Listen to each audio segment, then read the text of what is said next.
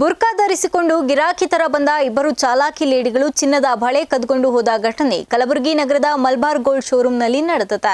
ಬುರ್ಕಾ ಧರಿಸಿಕೊಂಡು ಗಿರಾಕಿ ತರ ಬಂದು ಅಂಗಡಿಯ ಸೇಲ್ಸ್ ಮ್ಯಾನ್ನ ಗಮನವನ್ನ ಬೇರೆ ಕಡೆ ಹರಿಸಿ ಮೂವತ್ತು ಗ್ರಾಂ ಚಿನ್ನದ ಬಳೆಗಳನ್ನು ಎಗರಿಸಿ ಎಸ್ಕೇಪ್ ಆಗಿದ್ದು ಸಿಸಿಟಿವಿಯಲ್ಲಿ ರೆಕಾರ್ಡ್ ಆಗಿದೆ. ಸೇಲ್ಸ್ ಮ್ಯಾನ್ ಚಂದ್ರಕಾಂತ್ ನೀಡಿದ ದೂರಿನನ್ವಯ ಸ್ಟೇಷನ್ ಬಜಾರ್ ಪೊಲೀಸ್ ಠಾಣೆಯಲ್ಲಿ ಕೇಸ್ ದಾಖಲಾಗಿದೆ.